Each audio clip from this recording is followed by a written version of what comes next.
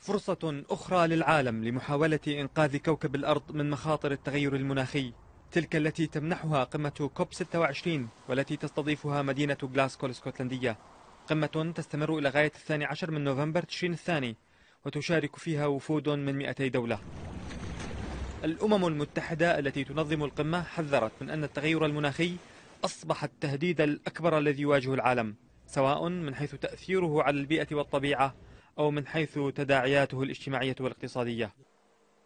المتفائلون يتوقعون من قمة غلاسكو التحول من تقديم الوعود بخفض الانبعاثات إلى اتخاذ إجراءات فعلية على أرض الواقع إضافة إلى رصد إطار زمني محدد لتنفيذ هذه الإجراءات.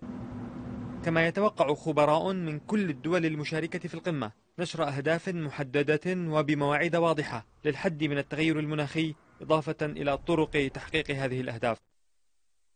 القمة قد تخرج أيضا بسياسات واضحة لتحفيز الحكومات التي لم تكثف جهودها للحد من الاحتباس الحراري وخفض عالمي لحرارة الكوكب بمعدل درجتين مئويتين.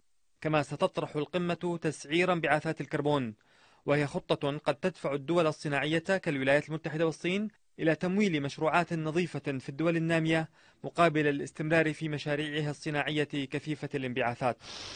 من جهة أخرى تنتظر الدول النامية من القمة الخروج بتوصيات لدفع الدول الصناعية إلى تقديم تعويضات مالية عن الحرائق والزلازل والفيضانات التي عانت منها هذه الدول حيث ترى أن الانبعاثات الكربونية الناتجة عن المشاريع الصناعية في الدول الغنية هي السبب الرئيس لهذه الكوارث.